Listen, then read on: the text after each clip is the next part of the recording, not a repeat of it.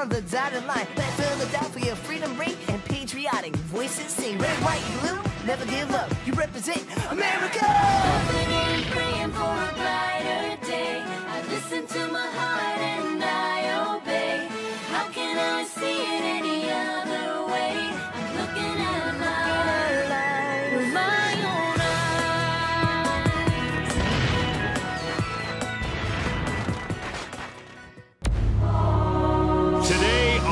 Liberty's Kids.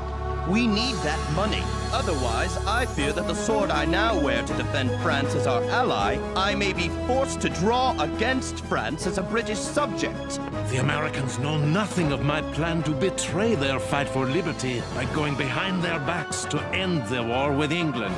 General Washington sent me because he believed a soldier could explain to them that we are at the end of our tether. I've got no time to waste. I must have the French fleet dispatched.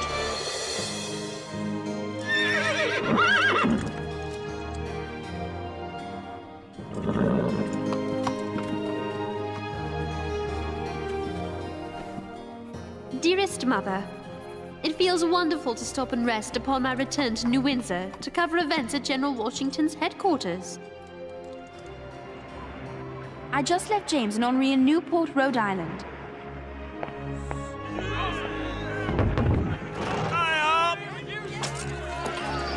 Henri is so excited that French forces have arrived.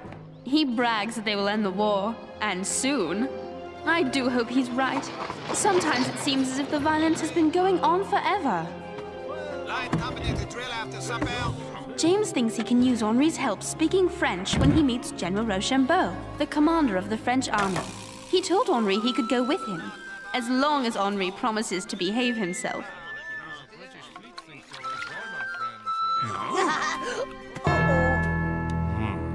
Uh, excusez-moi.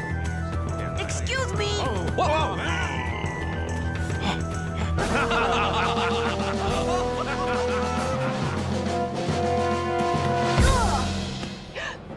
And who have we here?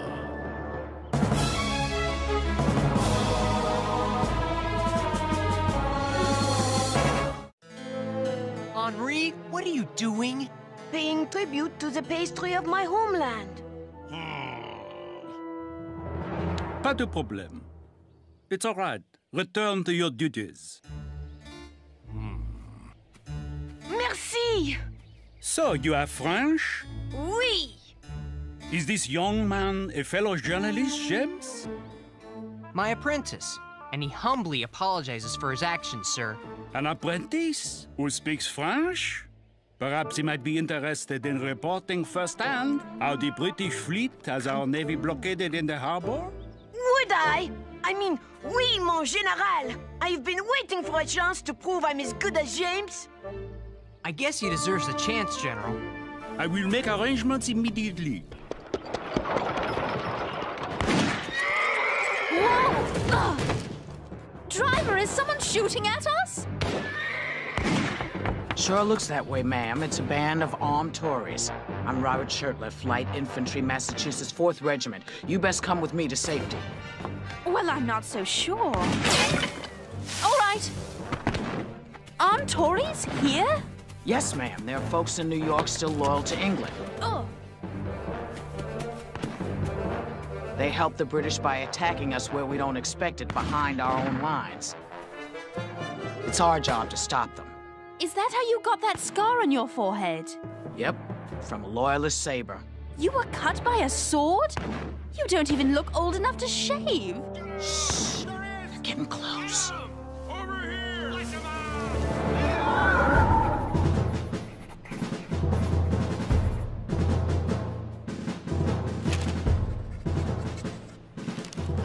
General Rochambeau, sir, how do you like America? It is not what I expected. Why, you don't even have a centralized government. Your Congress can only suggest what the state should do. Your treasury is empty, your military supplies are nearly exhausted, and the local citizenry is angry. I know. Even General Washington is upset that his soldiers must take food from citizens to feed themselves. But I'm sure he'll think of something. He already has. The general sent Colonel Laurens to France to beg for more gold, guns, and gunpowder. Why would he send Colonel Laurens when Ben Franklin is already there?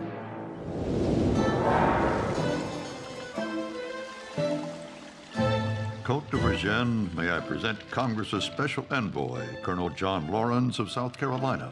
Bonjour, Colonel. And good day to you, sir.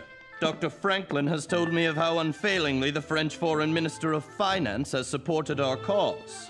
I wish I could do more. You can do more. Colonel Laurens, while you were journeying here to France, we graciously agreed to give America a gift of six million livres. You should congratulate Dr. Franklin. Sir, you mock me. We need 25 million livres, otherwise, I fear that the sword I now wear to defend France as our ally, I may be forced to draw against France as a British subject. If I am to be insulted in this manner, I'm afraid I must take my leave.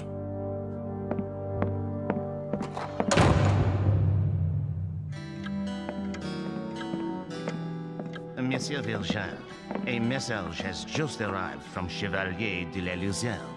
And what does our ambassador to the American Congress in Philadelphia have to say? He wants to know how you are progressing with your plan for a peace conference. Shh! The Americans know nothing of my plan to betray their fight for liberty by going behind their backs to end the war with England. Colonel Laurens, a spoonful of honey will catch more flies than a gallon of vinegar. Are you suggesting I apologize? In a word, yes. I cannot. We need that money. Don't you understand? General Washington sent me because he believed a soldier could explain to them that we are at the end of our tether, and now or never our deliverance must come. Colonel, I am 75 years old and suffering from a severe attack of gout. I am afraid that I do not have the energy to pursue an action I cannot win. I will write Congress that I have secured the six million livres and add to that my resignation. How many Tories do you think are out there? I can't tell yet. The Tories are right behind us, Robert.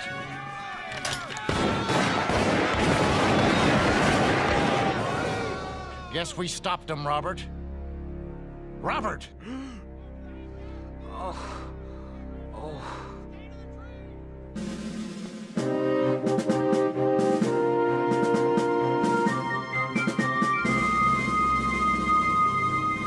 Rochambeau said that to you?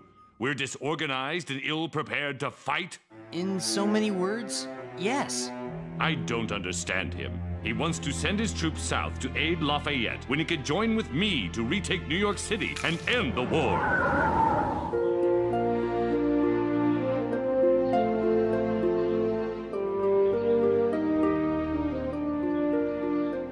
Robert, you've got to let the doctor examine you. The shot is still in your shoulder. I don't want any doctors operating on me. I've seen too many men die after surgery. I'll handle it myself. I don't know what your story is. Treating your own wound? I don't know if you're brave or foolish.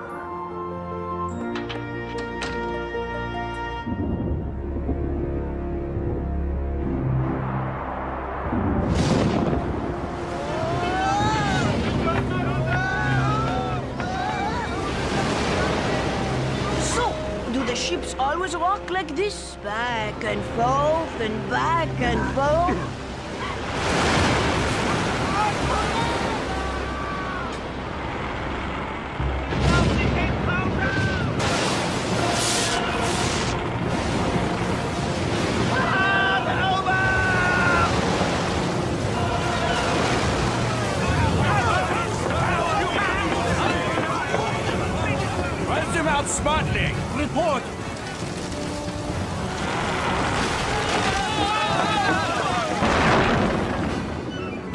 Is putting the English fleet out of commission.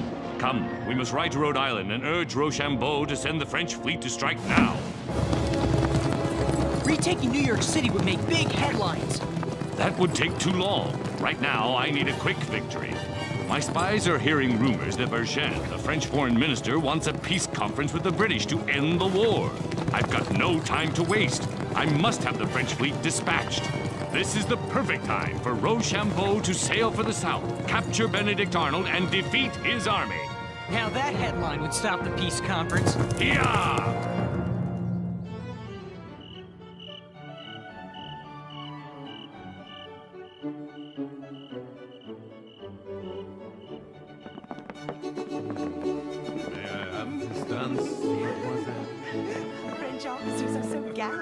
Too am aware of the rumors that de Vergennes wishes to make peace with the British. Then why do you waste two days honoring me with these balls?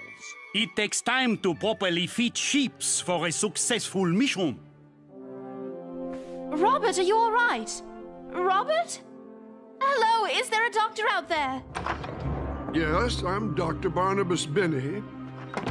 I was talking to Robert, and all of a sudden he stopped talking and started sweating. Hmm, symptoms sound like malignant fever. It's all over the camp. Is he going to be all right? I'll check his heart. What?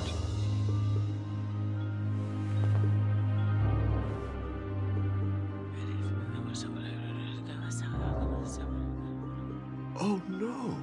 What is it? Is he dying? No, Robert's going to live, but how shall I say this? Robert isn't a he, he's a she. What?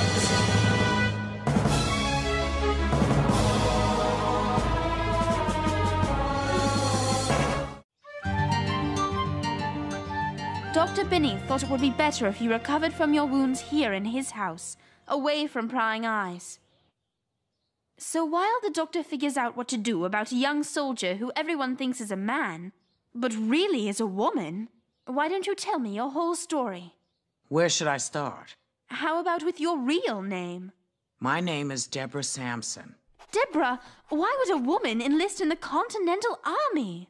Heck, I was tall as most men, just as strong too, and I wasn't afraid to shoot a gun, so why shouldn't I fight for my country? I guess I was always kind of unconventional. See, my father went off to sea when I was a very young girl, and my mom was too poor to care for seven kids. So I worked from the age of 10 to 18 as an indentured servant. Indentured? You mean forced to stay and work, not able to leave until your mother's debt was paid off? Yes, that's exactly what I mean. And I'll tell you one thing working in the fields made me strong. After my chores were done, I taught myself to read, Sarah. I read every book I could get my hands on. I must have learned a lot, because when I turned 18 and earned my freedom, they hired me to be a school teacher. But I didn't think women were supposed to be school teachers. I caused quite a stir, and I'll tell you something. I really did love teaching. I guess not following the rules just comes naturally to me. And since the army doesn't accept women, you enlisted as a man. Well, I sure tried. Timothy Thayer. Yes, ma'am. The problem was, I tried to join up in my own hometown. Not the smartest thing. Timothy Thayer, huh?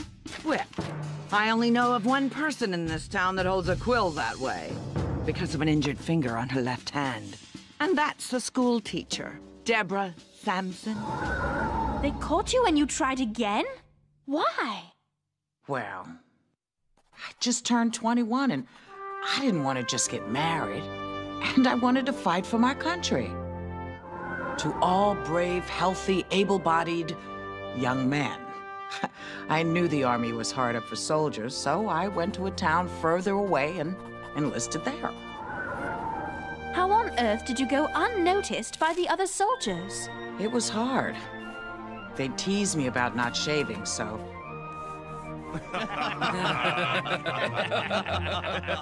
I told him I was just too young to grow a beard. Your story is amazing! You took so many risks. Yes, but I was always afraid of being caught. I'd heard of some other women who disguised themselves as men to enlist. When they were discovered, they were disgraced. But you still had the courage to follow what was in your heart, no matter what the obstacles. Deborah? You should rest now. What amazes me is that her disguise has gone undiscovered for over a year. What are you going to do? I'm afraid that I must follow orders and inform the army as to the true identity of Robert Shirtliff.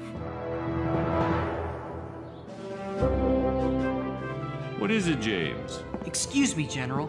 About the letter you wrote to your nephew? Ah, yes. I wrote to Lund that if Rochambeau had ordered the French fleet to sail south when I wanted, we could have captured that traitor Benedict Arnold and destroyed his army. I'm sorry to report that it's been printed in this New York Tory newspaper. Outrageous! That was a private letter to my nephew, and I was deeply upset when I wrote it. Now everyone, including Rochambeau, is going to read it.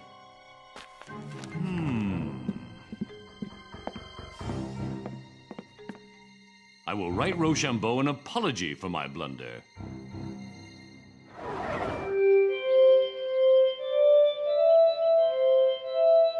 Dr. Franklin, your genius for inventions never ceases to amaze me. I thought a duet on my glass harmonica with Marie Antoinette might be nice. If you'll excuse me, Vergennes, I believe the letter I've been waiting for has arrived. Is it from America?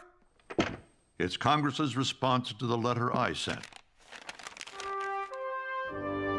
Thank goodness they do not accept my resignation. They have the good sense to realize that when I resigned, I wasn't feeling well. I must write Congress and tell them that I'm feeling better, and it will be a great honor to once again buckle down to the business of America. Then I shall take my leave. Monsieur Vergennes, the English have replied to your request for a peace conference.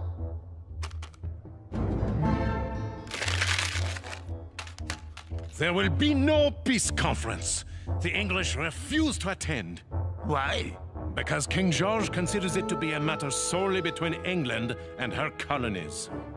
That is the end of it.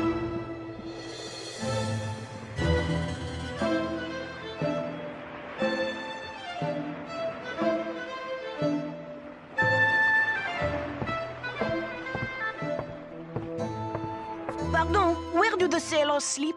You must be Henri. Follow me. I'll take you to your bunk. This is your bunk. There's someone in it. But of course, there aren't enough beds for the whole crew. So, you sleep in it when he is on watch. I can handle that. I'll be too busy as a journalist to sleep anyway. So, where do we eat? Dinner. Sacre bleu! Is this what you usually eat? No, this is better. Wait till we set sail. That's when we get the bad stuff.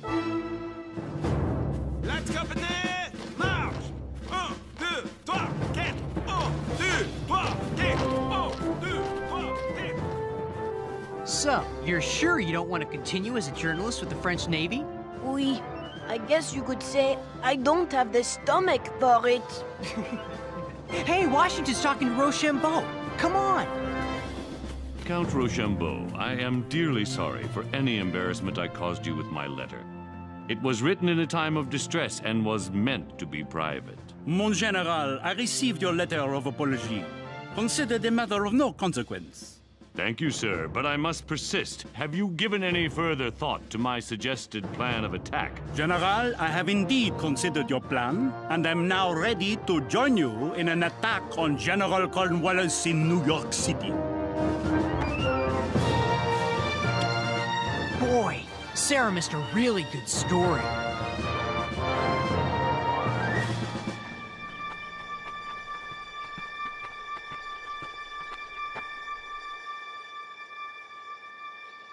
Know I'm gonna be disgraced. But what you did shows how dedicated you are to the cause of liberty. But I'm still worried they'll put me in jail for dressing as a man. Deborah Sampson, also known as Robert Shirtliff. Because you impersonated a man and enlisted against military policy, Here it comes.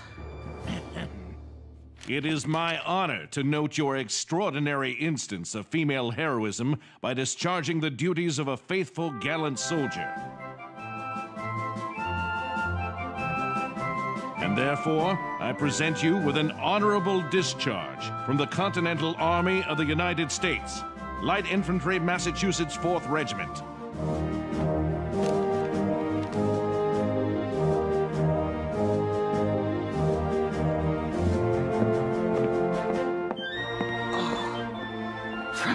There, I thought I was in a heap of trouble. Except you showed the whole nation what you are capable of.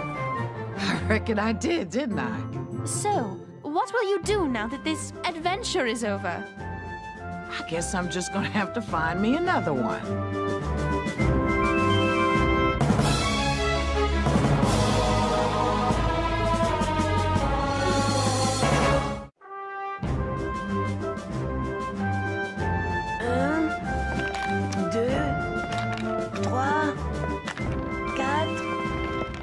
Another letter to your mother? Yes. I just had to tell her how impressed I was with Deborah Sampson. I'll tell you, she impressed me, leaving that shot in her shoulder. It's more than that.